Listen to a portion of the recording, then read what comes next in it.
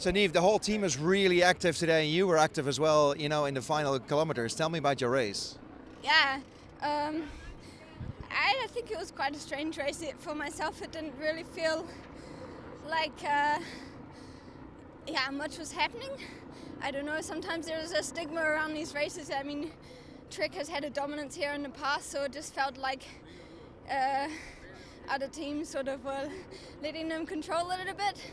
Um, yeah, I, I think as a team we tried to to make something happen in the last three laps.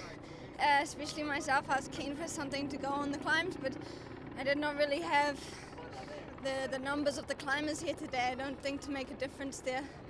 Um, yeah, when it's a big bunch like this, sometimes it's like making the effort for nothing because they can just come back. Um, so yeah, it was an interesting race, but I'm glad that we gave it a go. Uh, uh, did you notice that you know the whole team, every other team was afraid of uh, Lotte and and SD Worx Protime? Yeah, for sure. I mean, uh, when uh, you were wear the world champion jersey and Lotte Kopecky, I, you saw every time she jumped today, then the whole bunch jumped. It's uh, it's funny to see, but uh, sometimes I, uh, yeah, I think it's a little bit funny in the bunch uh, watching everyone jump, but it is uh, part of what comes with wearing that jersey. So overall, not really happy.